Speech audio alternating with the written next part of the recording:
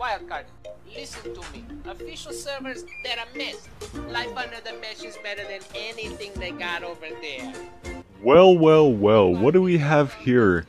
Once again, Supremacy playing illegitimately, which is not very surprising to me considering what they do all the time. I made a challenge a few few days back. I'll play the clip now. What I'm gonna do for you, Supremacy, I want to challenge you. I know you, I know it's gonna be really, really hard for you to do, but I'm gonna challenge you.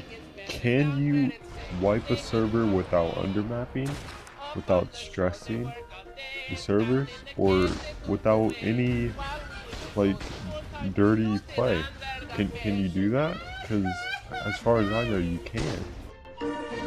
Down here all the cheaters is happy As off through the fish they roll The tribes on the land ain't happy They sad cause they just got rolled. But peeps in unofficial is lucky They in for a worse fate One day when the tribes get hungry Guess who's going on that plate? Under the mesh. Under the mesh Nobody beat the snipers try to loot us, es Jose. We want Wildcard, folks love to cook. Under the mesh, we off the hook.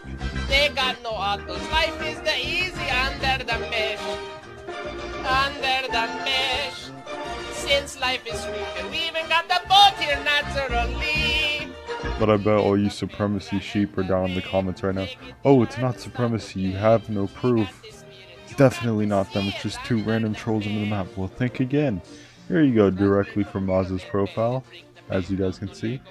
And, uh, yeah, he's under the map, uh, shooting, as you guys can see. But this isn't the only clip we have. Two days ago, he posted this clip.